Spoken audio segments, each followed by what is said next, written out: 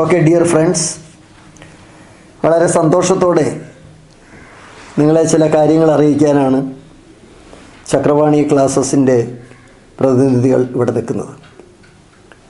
ഈ നെടുമ്പങ്ങാട് ഒരു കൊച്ചു പട്ടണമാണ്. ആ നെടുമ്പങ്ങാട് എന്ന കൊച്ചു പട്ടണത്തിൽ നിന്ന് ധാരാളം സബ് ഇൻസ്പെക്ടർമാർ പോലീസ് സേനയിലേക്ക് ഞങ്ങൾ സംഭാവന ചെയ്തിട്ടുണ്ട്. പല കാലഘട്ടങ്ങളിലായി. എന്നാൽ ഈ മുപ്പതാം തീയതി നടക്കുന്ന സബ് ഇൻസ്പെക്ടർമാരുടെ ട്രെയിനിങ്ങിന് പോകാൻ ഞങ്ങളുടെ ഈ പ്രദേശത്ത് നിന്ന് മൂന്ന് ചെറുപ്പക്കാർ അതിന് തയ്യാറായി നിൽക്കുകയാണ്. അവർ ഞങ്ങളുടെ ബ്ലെസ്സിങ്സ് വാങ്ങുന്നതിനും അവരുടെ അനുഭവങ്ങൾ ഇവിടെ പറയുന്നതിനും വേണ്ടി അവരിവിടെ എത്തിച്ചേർന്നിട്ടുണ്ട്. നെടുമങ്ങാട് എന്ന് പറയുന്ന ഈ പ്രദേശത്ത് മിക്കവാറും എല്ലാ വീടുകളിലും സർക്കാർ ഉദ്യോഗസ്ഥന്മാരുണ്ട് അത് ചില വീടുകളിൽ മൊത്തം സർക്കാർ ഉദ്യോഗസ്ഥന്മാരായ വീടുകൾ ഉൾപ്പെടെയുണ്ട്. ഇത് നമ്മുടെ യുവാക്കൾക്ക് ഒരു പിന്നെ പ്രചോദനം കിട്ടും എന്ന് ഞങ്ങൾ വിശ്വസിക്കുന്നു. അതുകൊണ്ട് ഈ മുപ്പതാം തീയതി ട്രെയിനിങ്ങിന് പോകുന്ന എന്റെ സുഹൃത്തുക്കൾ അവരെ ഓരോരുത്തരെയായി ഞാൻ ഈ വേദിയിലേക്ക് ക്ഷണിക്കുകയാണ്. ആദ്യത്തത് വൈശാഖ് ഡി ആണ്. വൈശാഖ് ഡി തന്റെ പോസ്റ്റിംഗ് ഓർഡറുമായി ചക്രവാണി സാറിന്റെ അടുത്തേക്ക് വരുന്ന കാഴ്ചയാണ് നിങ്ങൾ കണ്ടുകൊണ്ടിരിക്കുന്നത്.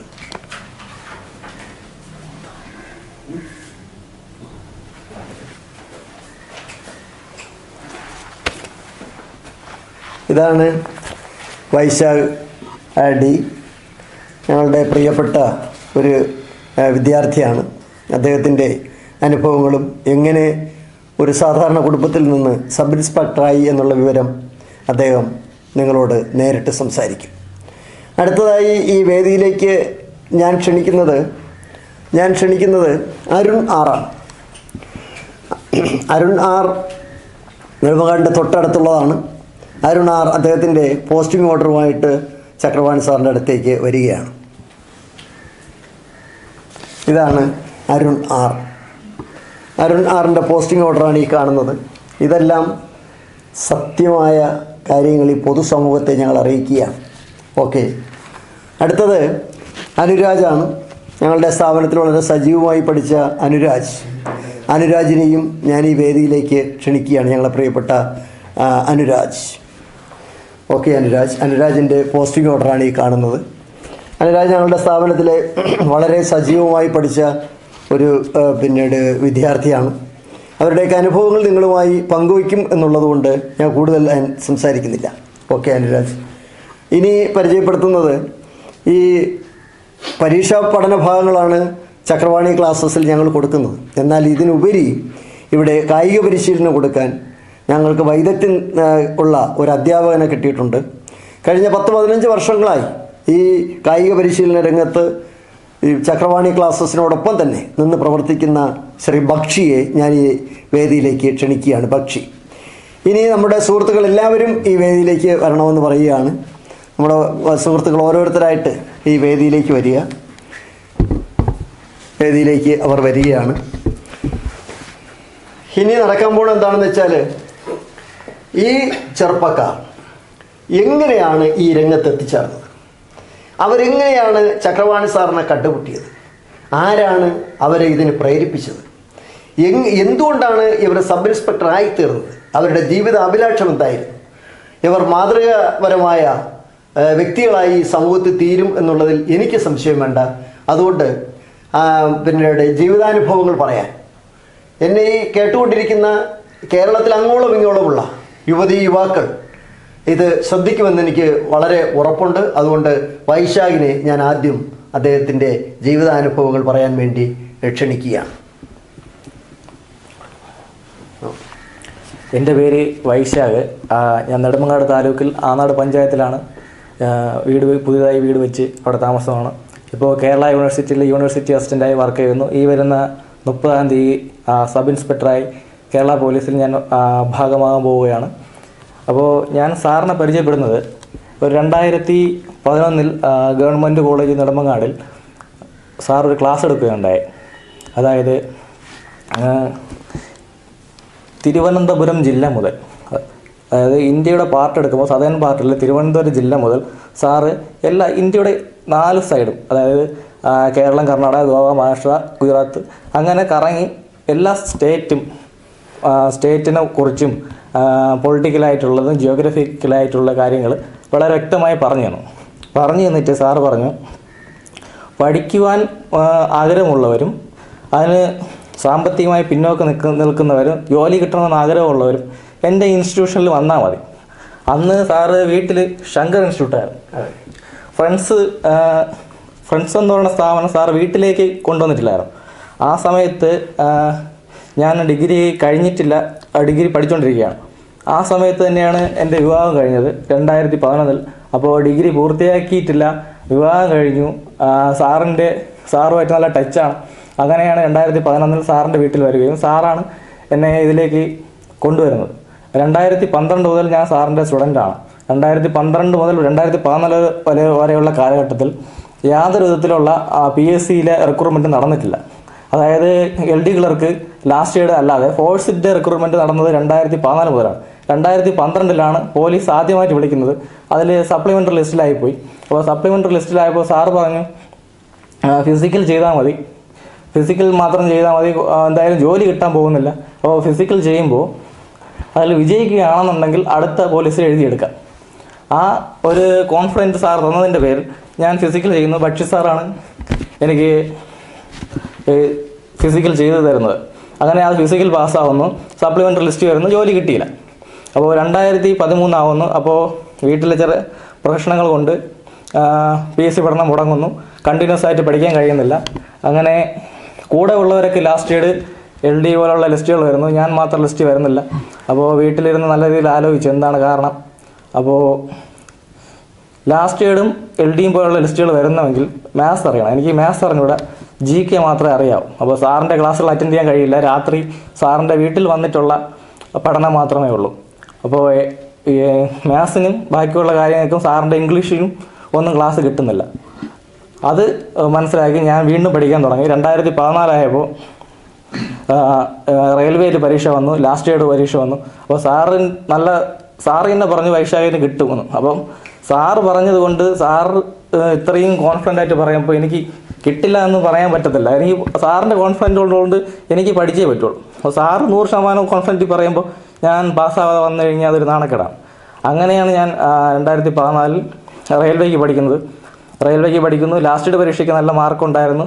പക്ഷേ ലാസ്റ്റ് ഇയർ പരീക്ഷ ഇവിടെ സാറ് നടത്തിയ പരീക്ഷയ്ക്ക് മാർക്ക് ഉണ്ടായിരുന്നു. ലാസ്റ്റ് ഇയർ എക്സാമിന് പോയപ്പോൾ വയ്യാതായി പനിയായിരുന്നു. ക്ലാസ്സിൽ ഛർദ്ദിച്ച് നേരെ നേരെ പരീക്ഷ എഴുതാൻ പറ്റില്ല. കൂട്ടുകാർക്ക് നല്ല മാർക്ക് ഉണ്ടായിരുന്നു. എനിക്ക് സപ്ലിമെന്ററിൽ അതിൽ പോയി. അപ്പോൾ അത് കഴിഞ്ഞ് ഒരു മാസത്തിന്റെ ഗ്യാപ്പിലാണ് റെയിൽവേ പരീക്ഷ വരുന്നത്. റെയിൽവേ പരീക്ഷയിൽ പിന്നെ അത് കോൺസെൻട്രേറ്റ് ചെയ്ത് പഠിച്ചു. അപ്പോൾ സാറ് പറഞ്ഞു വൈശാഖിന് കിട്ടിയില്ലെങ്കിൽ ആർക്കും കിട്ടത്തില്ല. എന്ന് പറഞ്ഞു. അത്രയ്ക്കും കോൺഫിഡന്റ് ആയിട്ട് സാറ് നല്ല രീതിയിൽ എനിക്ക് നല്ല രീതിയിൽ സാറാണ് എന്നെ സപ്പോർട്ട് ചെയ്തു. അങ്ങനെയാണ് ഞാൻ റെയിൽവേ പരീക്ഷ പഠിച്ചത്. ഇരുപത്തി രണ്ടര ലക്ഷം പേര് പരീക്ഷ എഴുതിയതാണ്.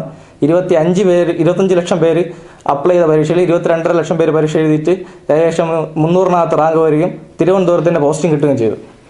അത് കഴിഞ്ഞ് ആറ് മാസത്തോളം വേറെ പഠനങ്ങളൊന്നും ഇല്ലായിരുന്നു. വേറെ പി എസ് സി ലിസ്റ്റിലും വന്നിട്ടില്ല. പി എസ് ആ സമയത്ത് എഴുതിയ പരീക്ഷകളാണ് രണ്ടായിരത്തി പതിനഞ്ചിൽ രണ്ടായിരത്തി പതിനഞ്ചിലാണ് റെയിൽവേ കിട്ടുന്നത്. ജോലി കിട്ടുന്നത് പതിനാല് പരീക്ഷയായിരുന്നു. രണ്ടായിരത്തി പതിനഞ്ച് സമയങ്ങളിലാണ് police constable fire force sub inspector assistant jailer excise inspector അങ്ങനെയുള്ള പോസ്റ്റുകൾ പരീക്ഷ എഴുതുന്നത്. റെയിൽവേ ജോലി കിട്ടി ആറ് മാസം കഴിയുമ്പോഴാണ് ഇതിന്റെ എല്ലാ ലിസ്റ്റുകൾ വരുന്നത്. ഈ ലിസ്റ്റ് എല്ലാ ലിസ്റ്റുകളിലും ഉണ്ടായിരുന്നു. എല്ലാം നല്ല റാങ്കുകളും തന്നെയായിരുന്നു. അത് കഴിഞ്ഞ് ആണ് യൂണിവേഴ്സിറ്റി അസിസ്റ്റന്റ് വിളിക്കുന്നത്. ഏകദേശം ഒരു രണ്ടായിരത്തി പതിനാറ് സമയത്ത്. അതായത് റെയിൽവേ പരീക്ഷ കഴിഞ്ഞ് ഒരു ആറ് മാസത്തോളം കഴിഞ്ഞ് റെയിൽവേ ജോലി കിട്ടിയ ആറ് മാസത്തോളം കഴിഞ്ഞ് എല്ലാ ടച്ചും പോയി നിൽക്കുമ്പോൾ സാറാണ് പറയുന്നത്. അപ്പോഴും ഞാൻ ഇവിടെ സാറിന്റെ വീട്ടിൽ വരും സാറിനെ കാണും ക്ലാസ്സിൽ വെറുതെ ഇരിക്കും. അപ്പോൾ സാറാണ് പറയുന്നത് വീണ്ടും പഠിക്കുക പക്ഷേ യൂണിവേഴ്സിറ്റി അസിസ്റ്റന്റ് അല്ലേ ഡിഗ്രി ഇല്ലേ? ഞാൻ ആ സമയത്ത് പി ജി എടുത്തിട്ടുണ്ടായിരുന്നു എം എ ഹിസ്റ്ററിയിൽ. അപ്പോൾ സാറ് പറഞ്ഞു ഇതൊക്കെ വെറുതെ ആവത്തില്ലേ പഠിക്കാൻ? പറഞ്ഞു. അങ്ങനെയാണ് യൂണിവേഴ്സിറ്റി അസിസ്റ്റന്റ് പഠിക്കുന്നത്. യൂണിവേഴ്സിറ്റി അസിസ്റ്റന്റ് ആദ്യം അഗ്രികൾച്ചർ യൂണിവേഴ്സിറ്റി ആയിരുന്നു പിന്നെ ട്രാൻസ്ഫറായി കേരള യൂണിവേഴ്സിറ്റിയിൽ വന്നു. ഇതുവരെ ഉള്ളത് പഠനത്തിന്റെ ഒരു രീതിയാണ്. ഇനി ഫാമിലി ബാക്ക്ഗ്രൗണ്ട് ആണെങ്കിൽ വീട്ടിലെ സാമ്പത്തിക സ്ഥിതി അനുസരിച്ച് ഞാൻ ജോലിക്ക് പോയാണ് പഠിച്ചത്. അതായത് ഞാൻ രണ്ടായിരത്തി പതിനൊന്നിൽ വിവാഹത്തിനാവുകയും രണ്ടായിരത്തി പതിനൊന്നിൽ തന്നെ ജോലിക്ക് പോകുമായിരുന്നു പി ജിക്ക് പഠിക്കും രണ്ടായിരത്തി പന്ത്രണ്ടിൽ പി ജി അപ്ലൈ ചെയ്യുമ്പോഴത്തേക്ക് ഞാൻ ആശാരിപ്പണിക്കാണ് പോകുന്നത്. ആശാരിപ്പണിക്ക് പോയാണ് വീട്ടിൽ ചിലവും. ഇവിടെ രാത്രി സാറിന്റെ ഇവിടെ വന്ന് പഠിക്കും. ഇവിടെ നൈറ്റ് ക്ലാസ് എടുക്കും. സാറിന്റെ ഇവിടെ തന്നെ ക്ലാസ് നൈറ്റ് ക്ലാസ് എടുക്കുമായിരുന്നു. അങ്ങനെയൊക്കെയാണ് പഠിച്ചത്. അപ്പോൾ എന്റെ കൂടെ ഇപ്പോൾ സബ് ഇൻസ്പെക്ടറായിട്ട് വരുന്ന അരുൺ അരുണും ഞാനും ഒരുമിച്ചാണ് പണിക്ക് പോകുന്നത്. അപ്പോൾ ഞാൻ ആശാരി പണിക്ക് പോകുമ്പോൾ അരുണിന്റെ വീട്ടിലും ഭയങ്കര ദാരിദ്ര്യമായിരുന്നു. അപ്പോൾ അരുണിനൊരു ജോലിയില്ല. അപ്പോൾ ഞാൻ പോകുന്ന കമ്പനിയിൽ അരുണിനൊരു പെയിന്ററായിട്ട് ജോലി വാങ്ങിച്ചു കൊടുത്തു ഞാൻ. അപ്പോൾ പെയിന്ററായിട്ട് ഉണ്ടായിരുന്ന അരുണും ഞാനും വൈകുന്നേര സമയങ്ങളിൽ ഇവിടെ വന്നിരുന്ന് പഠിക്കും. നമ്മൾ ഒരുമിച്ച് പണിയുണ്ടെങ്കിൽ ഉച്ചയ്ക്കിരുന്ന് ജി കെ വായിക്കും. അപ്പോൾ റെയിൽവേയിൽ ഒരുമിച്ചാണ് ജോലി കിട്ടിയത്. എനിക്ക് ഇവിടെയും അരുണിന് തിരുവല്ലയും ജോലി കിട്ടി. അത് കഴിഞ്ഞിട്ട് അരുൺ ഫയർഫോഴ്സിൽ പോയി. യൂണിവേഴ്സിറ്റി ടെസ്റ്റിന്റെ അരുൺ എഴുതിയില്ലായിരുന്നു. എഴുതി. ആ യൂണിവേഴ്സിറ്റി ടെസ്റ്റിന്റെ അരുണ് കിട്ടിയില്ലായിരുന്നു. ഞാൻ യൂണിവേഴ്സിറ്റി അസിസ്റ്റന്റ് നിന്നു. റെയിൽവേയിലും റെയിൽവേയിൽ നിന്ന് റിസൈൻ ചെയ്തു. ഇത്രയാണ് എന്റെ. എല്ലാവരും വൈശാഖ് എങ്ങനെയാണ് സബ് ഇൻസ്പെക്ടർ ആകാൻ പോകുന്നതെന്നുള്ള കഥയാണ് ഹ്രസ്വമായി കേട്ടത്. ധാരാളം കാര്യങ്ങൾ വൈശാഖിന് പറയാനുണ്ടെന്നുള്ളത് എനിക്കറിയാം. സമയക്കുറവ് കൊണ്ട് അദ്ദേഹം ചുരുക്കിയതാണെന്നുള്ളൊരു സംശയം വേണ്ട. അടുത്തത് നമുക്ക് അരുൺ ആർ. എങ്ങനെയാണ് ഈ രംഗത്തെത്തിയതെന്ന് ഒന്ന് കേൾക്കാം. നമസ്കാരം. എന്റെ പേര് അരുൺ. ഞാൻ നെടുമ്പങ്ങാട് മുനിസിപ്പാലിറ്റിയിൽ തന്നെ പുലിപ്പാറ എന്നിടത്താണ് താമസിക്കുന്നത്. ഞാൻ പി എസ് സിയിലേക്ക് വരുന്നത് തന്നെ എന്റെ ഇരുപത്തിയാറ് വയസ്സ് കഴിഞ്ഞാണ്. രണ്ടായിരത്തി പന്ത്രണ്ടിൽ സാറിന്റെ ഫ്രണ്ട്സിൽ വന്ന് ഞാൻ ആദ്യം വർക്ക് ചെയ്ത ഒരു ഗാർമെന്റ് കമ്പനിയിലായിരുന്നു. തമിഴ്നാട്ടിലായിരുന്നു. രണ്ടായിരത്തി എട്ട് ഒൻപതിൽ. പിന്നെ വീട്ടിൽ അച്ഛൻ രണ്ടായിരത്തി രണ്ടിലേ മരിച്ചായിരുന്നു. അമ്മ ക്യാൻസർ പേഷ്യന്റും അനിയത്തി വിവാഹപ്രായം നിൽക്കുകയായിരുന്നു. അപ്പോൾ ആ ഒരു സമയം കൊണ്ട് എനിക്ക് അവിടെ തമിഴ്നാട്ടിൽ ഇങ്ങനെ നിൽക്കുമ്പോൾ ഒരു വീട്ടിലും ഒരു അനിയത്തി കല്യാണം പ്രായ അനിയത്തിയും ക്യാൻസർ പേഷ്യന്റായ അമ്മയുള്ള സമയത്ത് എനിക്ക് അവിടെ നിൽക്കാൻ ഒരു മനസ്സുകൊണ്ട് എനിക്ക് ഒട്ടും പറ്റത്തില്ലായിരുന്നെങ്കിൽ ഞാൻ ഒരു കൊല്ലം തിരുപ്പൂര് തിരുപ്പൂര് അത് ദുർഘടമായ സാഹചര്യത്തിൽ ഞാൻ ജോലി ചെയ്ത്. അവിടെ നിന്നിട്ട് നേരെ ഇവിടെ വരികയും തിരു തിരുവനന്തപുരം കിൻഫ്ര അപ്പാരൽ പാർക്കിൽ ജോലി ചെയ്യുകയും ചെയ്തു. അവിടെയും തുച്ഛമായ ശമ്പളമായിരുന്നു. പിന്നെ ഇതിന്റെ ഇടയിൽ തന്നെ പി എസ് സി അല്ലാതെ വേറെ പല പല ജോലിക്കും പോയിട്ടുണ്ട്. ബുക്ക് കടയിൽ സെയിൽസ്മാനായിട്ട് പോയിട്ടുണ്ട്. സെക്യൂരിറ്റി കമ്പനി സെക്യൂരിറ്റി ആയിട്ട് പോയിട്ടുണ്ട്. അപ്പോൾ അതെല്ലാം ഒരു സ്ഥിരമല്ലായിരുന്ന കാര്യം അങ്ങനെയാണ്. അവസാനം എല്ലാവരെയും പോലെ എല്ലാം നഷ്ടപ്പെട്ടാണ് അടുത്തുള്ള ഈ ഗവൺമെന്റ് മേഖലയിലേക്ക് വന്നത്. അപ്പോഴത്തേക്കും എന്റെ വയസ്സ് യഥാർത്ഥത്തിൽ എനിക്ക് ഇരുപത്തിയാറ് കഴിഞ്ഞിരുന്നു. അപ്പോൾ എനിക്കിപ്പോഴുള്ള യുവ ഈ ഇപ്പോഴത്തെ യങ് ജനറേഷനകത്ത് പറയാനുള്ളത് നിങ്ങൾ ഈ പഠിത്തം തുടങ്ങുന്നതിന്റെ കൂടെ തന്നെ പി എസ് സി പഠനം തുടങ്ങുന്നത് നല്ലതായിരിക്കും അല്ലേ സാർ? ഒരാഴ്ച. അപ്പോൾ പഠിത്തത്തിലൂടെ തന്നെ ബ്രെയിൻ നല്ല ഷാർപ്പായിരിക്കും. ഞാൻ തന്നെ എന്റെ ഇരുപത്താറ് വയസ്സിലൊക്കെ ഞാൻ പഠിത്തം എല്ലാം വിട്ട് പിന്നെ ഒന്നും കൂടെ തുടങ്ങുമായിരുന്നു. അപ്പോൾ എനിക്ക് ആദ്യം ഒന്നും ഭയങ്കര ബുദ്ധിമുട്ടായിരുന്നു. ഓരോരുത്തരൊക്കെ നോളജ് കേൾക്കുമ്പോൾ നമ്മളിതുപോലെ എങ്ങനെയാവും അത് നന്നായി തീരും എന്നൊരു ആകാംക്ഷയായിരുന്നു. അതുപോലെ തന്നെ ഫ്രണ്ട്സിൽ ജോയിൻ ചെയ്തു. ജോയിൻ ചെയ്തതിന്റെ അന്ന് തന്നെ ഞാൻ അന്ന് തന്നെ രണ്ടു മൂന്ന് പേർ ജോലിയായി അപ്പോയിൻമെന്റ് ലെറ്ററായിട്ട് സാറിന്റെ അവിടെ വരികയാണ് ഉണ്ടായത്. അപ്പോൾ അവർ ജോലി വാങ്ങിച്ച കാര്യങ്ങളെല്ലാം പറഞ്ഞപ്പോൾ അത് കണ്ടപ്പോൾ എനിക്കും ഉറപ്പാണ് എനിക്കും എന്റെ ഉള്ളിൽ എനിക്കും ഒരു ഒരു തീഷ്ണമായ ഒരു വികാരം തോന്നി. എന്നെങ്കിലും ഇതുപോലെ ഞാനും സാറിന്റെ മുമ്പിൽ ഇങ്ങനെ വന്ന് നെഞ്ചി വിരിച്ച് ഇങ്ങനെ പറയും. ആ ഒരു അവിടെ നിന്ന് തുടങ്ങിയതാണ്. അപ്പോഴാണ് സാറ് അപ്പോഴത്തേക്കും ഞാനിങ്ങനെ ഈ ശനിയും ഞായറും എനിക്ക് വരാൻ പറ്റില്ല കിൻഫ്രീ വർക്ക് ചെയ്യാൻ നേരത്ത്. അപ്പം ഞായറാഴ്ച മാത്രമേ ക്ലാസ്സിൽ കിട്ടത്തുള്ളൂ. അപ്പോഴാണ് ഞാൻ മനസ്സിലായത് ഇത് ഫുൾ ഇത് ഫുൾ ടൈം ഇരുന്ന് പഠിച്ചാൽ മാത്രമേ പറ്റുള്ളൂ അങ്ങനെ അപ്പോഴാണ് സാറ് നൈറ്റ് ക്ലാസ്സും കൂടെ ഇവിടെ തുടങ്ങിയത്. അപ്പോൾ നൈറ്റ് ക്ലാസ് തുടങ്ങിയ ആ നൈറ്റ് ക്ലാസ്സിൽ തുടങ്ങിയത് ആണ് എന്റെ ജീവിതത്തിൽ ഏറ്റവും വലിയ വഴിത്തിരിവായി മാറിയത്. ഒരുപക്ഷെ സാറിന് ഏറ്റവും കൂടുതൽ ട്യൂഷൻ ചെയ്തത് ഞങ്ങളായിരിക്കും. ഏഴ് മണി തൊട്ട് ഒരു ഒമ്പത് പത്ത് മണി വരെ നൈറ്റ് ക്ലാസ് സാറ് ഞങ്ങളെ ഒരു പോലും കറണ്ട് ചാർജിന് പോലും മേടിച്ചില്ല. നമ്മൾ നിർബന്ധിച്ച് കൊടുത്തിട്ട് പോലും സാറ് മേടിച്ചിട്ടില്ല. ആ വലിയ മനസ്സ് ഇപ്പോൾ എനിക്ക് തോന്നുന്നു ലോകത്തെ വളരെ ചുരുക്കം പേർക്ക് മാത്രമേ കാണത്തുള്ളൂ. കാരണം ഞങ്ങളെപ്പോലെ ആർക്കും സാർ ആ മേഖല കടന്നു വന്ന സാറിന് ഞങ്ങളെപ്പോലെയുള്ളവരുടെ വിഷമവും പഠിക്കാനുള്ള തീഷ്ണയും മനസ്സിലായി അതാണ് സാർ അങ്ങനെ ചെയ്തത്. അങ്ങനെ അപ്പോൾ എനിക്ക് ജോലിയൊന്നും ഇല്ലാതായി. വീട്ടിൽ അമ്മയ്ക്ക് ക്യാൻസർ പെൻഷൻ കിട്ടുന്ന വരുമാനം കൊണ്ട് മാത്രം മുന്നോട്ട് പോകേണ്ട അവസ്ഥ ഒന്നും ആ ഒരു വിഷമം ഞാൻ ഇങ്ങനെ വൈശാഖിന്റെ അടുത്ത് പറഞ്ഞപ്പോൾ വൈശാഖാണ് എന്റെ അടുത്ത് വെച്ചത്. ഞാൻ നിനക്ക് നേരെ പരിചയപ്പെട്ട എസ് എ വൈശാഖ്. നിനക്ക് ഞാൻ പെയിന്റിങ് പണി വാങ്ങിച്ചു തന്നാൽ നീ വരാൻ താല്പര്യമുണ്ടെന്ന് വെച്ചു ഞാൻ പറഞ്ഞു "ആ, തീർച്ചയായിട്ടും താല്പര്യമുണ്ട്. എനിക്കിപ്പോൾ എന്റെ കയ്യിൽ ഇൻകം വേണം. എനിക്ക് എന്തായാലും വന്നേ പറ്റുള്ളൂ. വീട്ടിൽ സാമ്പത്തിക സ്ഥിതി വളരെ മോശമായിരുന്നു. അമ്മയ്ക്കും ചികിത്സയ്ക്കും എനിക്കും അങ്ങനെ ഇല്ലാത്ത ഒരു വളരെ ബുദ്ധിമുട്ടിയ സമയത്ത് അങ്ങനെ പെയിന്റിങ്ങിന്റെ പണിക്ക് വരികയും പെയിന്റിങ്ങിന്റെ പണിക്ക് വന്ന് വൈശാഖ നേരത്തെ പറഞ്ഞാൽ ഞങ്ങൾ രണ്ടുപേരും ഒരു കൺസ്ട്രക്ഷൻ സൈറ്റിലാണെങ്കിൽ ഞങ്ങൾ ഒരുമിച്ച് നൈറ്റ് വർക്ക് ചെയ്യും. അതുപോലെ തന്നെ ഞാനാണെങ്കിൽ എനിക്ക് ആർട്ടിക് കോൺസ്റ്റിറ്റ്യൂഷൻ ഞാൻ വളരെ വീക്കായിരുന്നു അപ്പോൾ ഈ ആർട്ടിക്കിളും പാർട്ടുകളെല്ലാം പോക്കറ്റിൽ എഴുതിയിട്ട് പെയിന്റ് അടിച്ചുകൊണ്ടിരിക്കുന്ന ചില സമയം ഉണ്ടെങ്കിൽ അത് പോക്കറ്റിൽ നിന്ന് എടുത്ത് പോയി വായിക്കുകയും അങ്ങനെയൊക്കെ ചെയ്യുമായിരുന്നു. പിന്നെ നൈറ്റ് ക്ലാസ് ഇവിടെ വന്ന് ഞാനും വൈശാഖും കൂടെ പിന്നെ കുറച്ച് സുഹൃത്തുക്കളും പല മേഖല റെയിൽവേയിലൊക്കെ ജോലി കിട്ടിപ്പോയ ഒരുപാട് സുഹൃത്തുക്കൾ. ഷമീർ അരുൺ അങ്ങനെയുള്ള ക്ലർക്കായും റെയിൽവേയിലുള്ള പല സുഹൃത്തുക്കളായിട്ട് ഞങ്ങൾ ഒരു ടീമോടെ അവർക്ക് വർക്ക് ചെയ്യാറ് ഈ ഇങ്ങനെ പഠിച്ചു തുടങ്ങിയ സമയത്താണ് എനിക്ക് ഡിഗ്രി ഇല്ല ഉണ്ടായിരുന്നില്ല. ആ ഒരു ഡിഗ്രിയുടെ കുറവ് മനസ്സിലാവുന്നത്. അപ്പോൾ ഞാൻ ഈ പി എസ് സിക്ക് വരുന്നതിന് മുമ്പ് ഡിസ്റ്റന്റ് ആയിട്ട് പോയി ചേർന്നായിരുന്നു. പക്ഷേ അത് പരീക്ഷയൊന്നും എഴുതാതെ ഒരുപാട് തവണ ഇയർ ഔട്ടായി അപ്പോൾ ഞാൻ അതുവരെ എഴുതാനുള്ള ഫസ്റ്റ് ഇയർ സെക്കൻഡ് ഇയറും തേർഡ് ഇയറും ഒരുമിച്ച് പെൻഡിങ് ഉള്ളതെല്ലാം ഒരു വർഷം കൊണ്ട് തന്നെ എഴുതി കംപ്ലീറ്റും അതായത് ഏകദേശം ഒരു എട്ട് ഒമ്പത് പേപ്പർ കിട്ടാത്തതും എഴുതാത്തതും എല്ലാ പേപ്പർ എല്ലാം ഒരു വർഷം കൊണ്ട് തന്നെ ഞാൻ എഴുതി തീർത്തു. ആ എഴുതി അതിന്റെ കൂടെ തന്നെ റെയിൽവേയുടെയും ലാസ്റ്റ് ഗ്രേഡ് പോലീസ് പോലീസ് എനിക്ക് ഫയർമാൻ ആ പരീക്ഷ എല്ലാം ഏകദേശം ഒരുമിച്ചല്ല വിഷയം വന്നു ഒരുമിച്ചാണ് വന്നത്. അതെല്ലാത്തിലും കയറി പക്ഷേ എനിക്ക് എന്റെ ഓ- ഈ ഫിസിക്കലി ഞാൻ ഫിറ്റ് അൺഫിറ്റ് ആയിരുന്നു ഇച്ചിരി വണ്ണവും കൂടുതലായിരുന്നു. അങ്ങനെ അപ്പോഴാണ് ഫ്രണ്ട്സിലെ ഭക്ഷ്യ സാറിന്റെ അടുത്ത് ഫിസിക്കലിന് വേണ്ടി ചേർന്നത്. ഭക്ഷ്യ സാറിന്റെ ശിക്ഷ കഠിനമായ പ്രയത്നം കൊണ്ട് എന്റെ എനിക്ക് എൺപത്തിയേഴ് കിലോ ഉണ്ടായിരുന്ന ഞാൻ എഴുപത്തി മൂന്ന് കിലോ ആയി കുറഞ്ഞു. അതിന് അങ്ങനെയാണ് എനിക്ക് ഫയർഫോഴ്സിന്റെ അത് ആദ്യത്തെ മൂന്ന് ഈവന്റ് പോയി. അവസാനത്തെ അഞ്ച് ഈവന്റ് ഞാൻ ചെയ്തെടുത്തതാണ്. ആയിരത്തി അഞ്ഞൂറ് കോടി. അതായത് എനിക്ക് അതില്ലാതെ എനിക്ക് നിലനിൽപ്പില്ലായിരുന്നു. അതാണ്. പിന്നെ അപ്പോൾ പോലീസിന്റെ ഫിസിക്കൽ ഫിസിക്കലകത്ത് കിട്ടാത്തതിന്റെ വിഷമം ഉണ്ടായിരുന്നു. അപ്പോൾ എന്തുകൊണ്ട് എനിക്ക് ഫയർഫോഴ്സ് ഓടി എടുത്തേ പറ്റൂ? അത്രയും കഷ്ടപ്പെട്ടതാണ് ഞാൻ. അങ്ങ് എനിക്ക് ഒരു ഒരു ശക്തമായ ഒരു വികാരം ഉള്ളിൽ വരെ അത് അങ്ങനെ ഞാൻ ചെയ്തെടുത്തതാണ്. ആ സമയത്ത് ഞാൻ എഴുതിയ റെയിൽവേയിൽ ഞാനും വൈശാഖ ഒരുമിച്ചായിരുന്നു എഴുതിയത്. നമ്മളത് ഒരുമിച്ച് ഫിസിക്കലിന് പോയതും ചെന്നൈയിൽ ഒരുമിച്ചാണ്.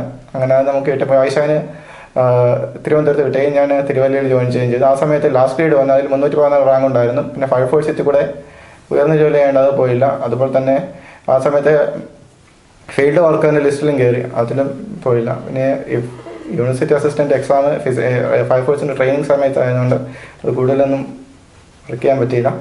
ഇപ്പോൾ രണ്ടായിരത്തി പതിനഞ്ചിൽ എഴുതിയ എസ് ഐ ടെസ്റ്റ് എന്റെ ഫിസിക്കൽ ഫയർ ഫോഴ്സിന്റെ സമയത്തായിരുന്നു. ആ ട്രെയിനിങ് സമയത്തായതുകൊണ്ട് എനിക്ക് ഫിസിക്കൽ വലിയ പാടായിട്ട് തോന്നിയില്ല. കാരണം ഫയർ ഫോഴ്സിന്റെ നല്ല ട്രെയിനിങ്ങിൽ എന്റെ ബോഡി നല്ല ഫിറ്റായിരുന്നു പിന്നെ ഞാൻ ജീവിതത്തിൽ ഇതുവരെ എന്തെങ്കിലും എത്തി തീരാൻ തീർച്ചയായിട്ടും നന്ദിപ്പെട്ട് കാരണം ഉണ്ടെങ്കിൽ ആദ്യമായിട്ട് സാറിന്റെ കൂടെയും പിന്നെ വൈശാഖിന്റെ കൂടെയും മാത്രമാണ്.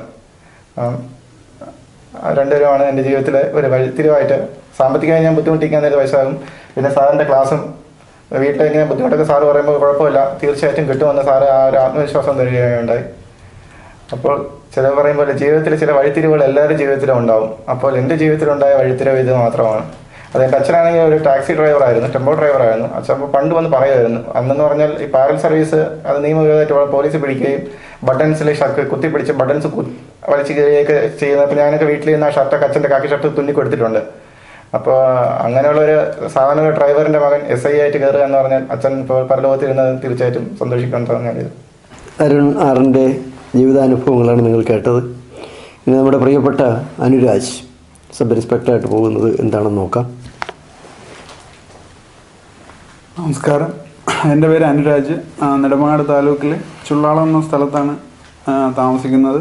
ഞാൻ ഇപ്പോഴും പോലീസിൽ പോലീസ് കോൺസ്റ്റബിളായിട്ട് ജോലി ചെയ്തുകൊണ്ടിരിക്കുകയാണ്. അതിന് മുമ്പെഴുതിയ പരീക്ഷയാണ് നമ്മുടെ ഈ സബ് ഇൻസ്പെക്ടർ. അത് അഞ്ച് കൊല്ലമായിട്ടാണ് നമുക്കിപ്പോൾ അതിന്റെ ഇത് അഡ്വൈസ് ആയിട്ടുള്ളത്.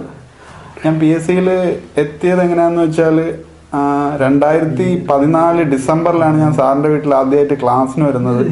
അന്ന് ഞാൻ സാറിന്റെ വീട്ടിലെ ക്ലാസ്സിന് വേണ്ടി വിളിച്ച് ചോദിച്ചിട്ടുണ്ടായിരുന്നു. അപ്പോൾ സാറ് പറഞ്ഞ് അഡ്മിഷൻ എല്ലാം ഫുള്ളാണ് ഇയാൾക്ക് താല്പര്യമുണ്ടെങ്കിൽ നൈറ്റ് വന്നിരിക്കാൻ പറഞ്ഞു.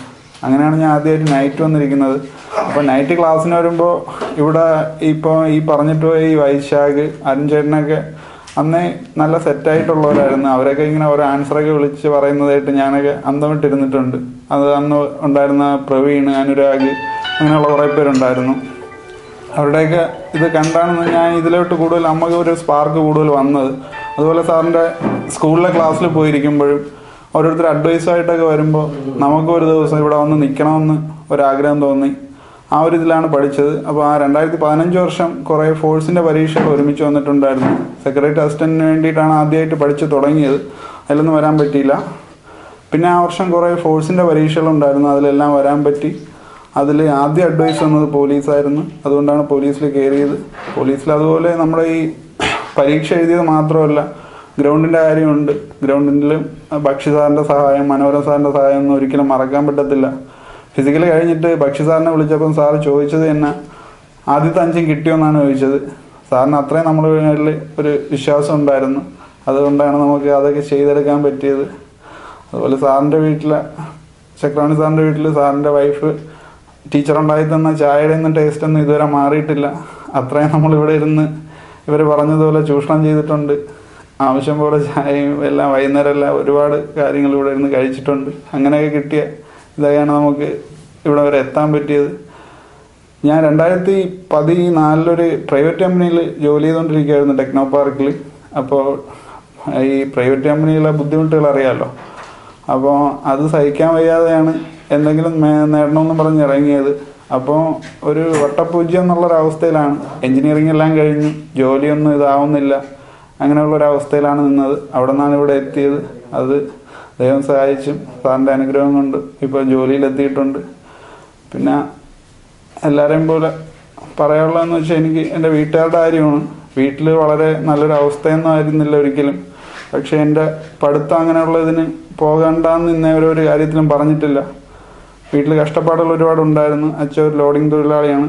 ഇപ്പോഴും ലോഡിങ്ങിനൊക്കെ അത്യാവശ്യമാണ്. അച്ഛൻ വല്ലപ്പോഴൊക്കെ പോകാറുണ്ട്. അപ്പോൾ ആ ഒരു നിന്നും എന്നെ പഠിപ്പിച്ചതിന് വീട്ടുകാരിൽ അച്ഛനും അമ്മയോടാണ് നന്ദി പറയേണ്ടത്. അതുപോലെ സാറിനോടുള്ള നന്ദി അറിയിക്കുന്നു. ഈ കായിക പരിശീലനം കൊടുത്ത ശ്രീ ബക്ഷി രണ്ട് വാക്ക് സംസാരിക്കും. എല്ലാവർക്കും നമസ്കാരം. ഇത്തരം ഒരു സന്ദർഭം എന്ന് പറയുന്നത് ഏറ്റവും കൂടുതൽ ഞങ്ങൾ അഭിമാനിക്കുകയാണ്. ഏറ്റവും കൂടുതൽ അഭിമാനിക്കുന്നത് തീർച്ചയായിട്ടും ചക്രപാണി സാറായിരിക്കും എന്നുള്ളത് ഏതൊരു സംശയവുമില്ല. അതുപോലെ തന്നെ എനിക്കും. ഇപ്പം നിങ്ങൾ ഇത്രയും പേരൂടെ പരിചയപ്പെടുത്തി. അതുപോലെ വൈ വൈശാഖായിരുന്നാലും ശരി തന്നെ അരുണായിരുന്നാലും ശരി തന്നെ അനുരാജായിരുന്നാലും ശരി തന്നെ. ഇതിനു മുമ്പുള്ള ബാച്ചുകളും അതുപോലെയാണ്. ഇപ്പോൾ ഷൈജു നമ്മുടെ സുനിൽ ഗോപി സീന അങ്ങനെ ഒട്ടനവധി. നമ്മുടെ തിരുവനന്തപുരം ജില്ലയിൽ തന്നെ അനവധി എസ് ഐമാർ സാറിന്റെ ശിക്ഷണത്തിലും എന്റെ ഫിസിക്കൽ ശിക്ഷണത്തിലും ഇവിടെ വന്നതിൽ ഒരു ആത്മാഭിമാനം. കാരണം കേരളത്തിന്റെ വടക്കേറ്റം മുതൽ തെക്കേറ്റം വരെയുള്ള ഡിസ്ട്രിക്റ്റിൽ ഫയർമാന്റെ എസ് എച്ച് ഉൾപ്പെടെ എത്രയോ പേരാണ്. ജയിൽ ജയിൽ സൂപ്രണ്ട് അഖിൽ ഇപ്പോൾ സൂപ്രണ്ട് സൂപ്രണ്ട് ആയില്ല. ഉം, ഡെപ്യൂട്ടി സൂപ്രണ്ടാണ് പുള്ളിക്കാരൻ. അവരെല്ലാം പല വലിയ പോസ്റ്റ് തൊട്ട് റെയിൽവേ വരെ എത്തിച്ചേരാൻ സാധിച്ചതിൽ ഞാൻ അഭിമാനിക്കുകയാണ്. അതുകൊണ്ട് ദാരിദ്ര്യം എന്തെന്ന് സാറ് പറയുന്നത് പോലെ എന്താണെന്ന് ജീവിതം മനസ്സിലാക്കിയവർ അവർ തീർച്ചയായിട്ടും സാറിന്റെ ശിക്ഷണത്തിൽ വരും. ഓരോരോ വർഷവും അതായത് ഈ വർഷമായിരുന്നാലും ശരി തന്നെ ഏകദേശം ആയിരക്കണക്കിന് കുട്ടികളാണ് ഒരു വർഷം സാറിന്റെ അണ്ടറിൽ ഫ്രണ്ട്സ് സ്റ്റഡീസ് അണ്ടറിൽ അത് ഫിസിക്കലാവും അതല്ലെങ്കിൽ സാറിന്റെ പി എസ് സി ക്ലാസ്സിന്റെ കോച്ചിങ് ഉണ്ടാവും. ആയിരക്കണക്കിന് പേര്. ഞങ്ങൾ ഒരു വർഷം കുട്ടികളെ ഉദ്യോഗസ്ഥരായിട്ട് വിടാൻ സാധിക്കുന്നതിൽ ധാരാളം ധാരാളം എന്ന് പറഞ്ഞാൽ വളരെ അഭിമാനം എനിക്ക് ഇപ്പോഴും തോന്നുന്നുണ്ട്. ഇനിയും നമ്മളിപ്പോൾ സാറ് പറയുന്നത് പോലെ ഞങ്ങളെ ഇൻസ്റ്റിറ്റ്യൂട്ടിൽ പഠിച്ചവർക്ക് മാത്രമല്ല ഞങ്ങൾ ഫിസിക്കൽ കൊടുക്കുന്നു വേറൊരു ഇൻസ്റ്റിറ്റ്യൂട്ടിൽ തന്നെ പഠിച്ചിട്ടുള്ളവർ എത്രയോ പേര്. സാർ പറഞ്ഞ് നമുക്ക് മാത്രമല്ല. ആ ദാനം ഒന്ന് ഒരു പൈസ കൂടെ ഇച്ഛിക്കാതെ കേവലം അഞ്ഞൂറ് രൂപ അഞ്ഞൂറ് രൂപയും വാങ്ങാതെ ആരെങ്കിലും ഇൻട്രൊഡ്യൂ ഇൻട്രൊഡ്യൂസ് ചെയ്യുകയാണ്. അഞ്ച് പൈസയും ഇല്ലാതെ ഞങ്ങളിവിടെ പഠിപ്പിച്ചിട്ടുണ്ട്. അത് ഇനിയും പഠിപ്പിക്കുകയും ചെയ്യും. സാറിന്റെ ആ ഒരു കാരുണ്യ മനസ്സിനെ തീർച്ചയായിട്ടും ഞാൻ അംഗീകരിക്കുന്നു. സാറിനോടൊപ്പം ഈ പത്ത് പതിനഞ്ചോ വർഷത്തോളം ഇവിടെ വന്ന് സർവീസ് ചെയ്യാൻ സാധിച്ചതിൽ എനിക്ക് ആത്മാഭിമാനമുണ്ട്. ഞാനൊരു പട്ടാളത്തിൽ നിന്ന് റിട്ടയർഡ് ആയതിനു ശേഷം രണ്ടായിരത്തി മൂന്നിൽ ഇറങ്ങിയതിന് ശേഷം ഷൈജുവും സുനിലും എന്നെ ഇൻട്രൊഡ്യൂസ് ചെയ്ത് സാറിന്റെ അടുത്ത് കൊണ്ടെത്തിച്ചു. ഇന്നും സാറിന് ആത്മാ ആത്മാഭിമാനത്തോട് പറയാം. ഞാൻ ഞാൻ ചെയ്തിട്ടുള്ള കാര്യങ്ങൾ തീർച്ചയായിട്ടും ഒരുപാട് പേരെ ഒരുപാട് പേരെ ധാരാളം പേരെ ഞങ്ങളെ രക്ഷപ്പെടുത്താൻ സാധിച്ചിട്ടുണ്ട്. അതിന് ഇൻട്രൊഡ്യൂസ് ചെയ്ത ഷൈജുവിനും സുനിലിനും സാറിനും ഞാൻ നന്ദി പറഞ്ഞുകൊണ്ട് ഞാൻ നിർത്തുകയാണ്. എല്ലാവരും ഞങ്ങളോടൊപ്പം കൂടുക സഹകരിക്കുക സാറിനോടൊപ്പം പഠിക്കുക ഉദ്യോഗസ്ഥരാകുക. എല്ലാവർക്കും നമസ്കാരം. ഓക്കെ ഡിയർ ഫ്രണ്ട്സ് നമ്മുടെ സുഹൃത്തുക്കൾ നമ്മുടെ സ്ഥാപനത്തിൽ പഠിച്ച് ജോലി കിട്ടി പോവുകയാണ്. എല്ലാവർക്കും എല്ലാ കാര്യങ്ങളും മനസ്സിലായിട്ടുണ്ട്. ഞാൻ ഇവരുടെ അടുത്ത് ഒന്ന് രണ്ട് ക്വസ്റ്റ്യൻ ചോദിക്കുകയാണ്. അവരെന്താണ് മറുപടി പറയണമെന്ന് നിങ്ങൾ കേൾക്കാം. ഓക്കെ ഗ്രാമറിൽ ഏത് അക്ഷരമില്ല? ഈ എന്നൊരു അക്ഷരമില്ല. നിങ്ങൾ ഇംഗ്ലീഷിൽ ഞാൻ ആദ്യം പഠിപ്പിച്ചത് എന്താണ്? ഓസ്വയർ inferior superior junior senior prefer married to congratulate വന്നാൽ ഓൺ വരണം. സ്കെഴ്സിലി ഹാർഡിൽ വന്നാൽ വെൻ വരണം. നടന്നു വന്നു എന്നുള്ളതിന് ഓൺ ഫുട്ടാണോ ബൈ ഫുട്ടാണോ ശരി? ഓൺ ഫുട്ട് എല്ലാവർക്കും മനസ്സിലായി കാണും. ചക്രവാണി സാറും എന്റെ ഈ സുഹൃത്തുക്കളും കൂടെ ചേർന്ന് ഞങ്ങൾ ഈ സാറാൻ പഠിച്ചവരാണ്. അന്ന് നഴ്സറി ക്ലാസ് എന്ന് ആരെങ്കിലും പറഞ്ഞിട്ടുണ്ടെങ്കിലേ ഒരു sub ഇൻസ്പെക്ടർമാരാണ്. Last Chakravani sir G K എവിടെ നിന്ന് തുടങ്ങിയെന്ന് നിങ്ങൾക്ക് ആർക്കെങ്കിലും പറയാൻ പറ്റുമെങ്കിൽ എനിക്ക് കിട്ടുന്ന ഒരു വലിയ അവാർഡായിരിക്കും അത്. ചക്രവാണി സാർ എവിടെ നിന്നാണ് ജി കെ തുടങ്ങിയത് എല്ലാവരും പല- ഒരുപാട് പേര് ഈ രാജ്യത്ത് ജി കെ തുടങ്ങിയിട്ടുണ്ട്. ഈ പാവപ്പെട്ട ചക്രവാണി സാറ് ജി കെ തുടങ്ങിയിട്ടുണ്ട്. എവിടെ നിന്നാണ് ജി കെ തുടങ്ങിയത്? നിങ്ങൾക്ക് ഒര- ഒരാ- ഒരാൾക്ക് ജി കെ എവിടെ നിന്ന് തുടങ്ങിയെന്ന് പറയാം.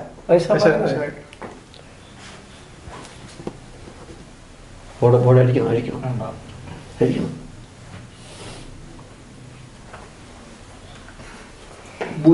ഈ ഈ ഒരു ഏതാണ്? പൂജ്യം ഡിഗ്രി അക്ഷാംശം. ഇതേതാണ് പൂജ്യം ഡിഗ്രി രേഖാംശം. പൂജ്യത്തിൽ നിന്ന് തുടങ്ങി ഇത് തന്നെയാണ് ഇവിടെ തുടങ്ങിയത്. അത് തന്നെയാണ് അവർ പറയുന്നത്. എക്കാലവും ഇവരുടെ മനസ്സിൽ ഈ സാറാമും ഭൂമധ്യരേഖയും അതേപോലെ തന്നെ ഈ പറഞ്ഞ കാര്യം കൂടി ഇരിക്കും. അതിലുപരി ഈ മൂന്ന് ചെറുപ്പക്കാരും അവർ നടന്നു വന്ന വഴി വളരെ വ്യക്തമായി ഓർക്കുന്നു. അതുകൊണ്ട് ഇവർക്ക് മൂന്ന് പേർക്കും ജീവിതത്തിന്റെ എല്ലാ ഭാഗങ്ങളിലും നൂറ് ശതമാനം വിജയിക്കാൻ കഴിയും. അവർ പോലീസ് ഓഫീസേഴ്സ് ആകുമ്പോൾ അവരുടെ അടുത്ത് വരുന്ന ആളുകളുടെ അടുത്ത് വളരെ മര്യാദയായി പെരുമാറാനും അവരുടെ അടുത്ത് സ്നേഹപരമായി ഉപദേശിക്കാനും ഒക്കെ കഴിയുന്ന ജീവിതാനുഭവങ്ങളുടെ ഒരു കൂമ്പാരമാണ് ഈ മൂന്ന് ചെറുപ്പക്കാർ. ഈ മൂന്ന് ചെറുപ്പക്കാരെന്ന് മാത്രം ആരും ധരിച്ചു കളയരുത്. സബ് ഇൻസ്പെക്ടറുടെ എല്ലാ പാസിംഗ് ഔട്ട് പരേഡിനും ഞാനും ഈ നിൽക്കുന്ന ഭക്ഷിയും തൃശ്ശൂർ പോയതാ. പോലീസ് എത്രയോ പ്രാവശ്യം ഞങ്ങൾ തൃശ്ശൂർ നിത്യ സന്ദർശകരാണ് പോലീസായാലും ഒക്കെ അവിടുത്തെ പാസിംഗ് ഔട്ട് കാണാനായിട്ട്.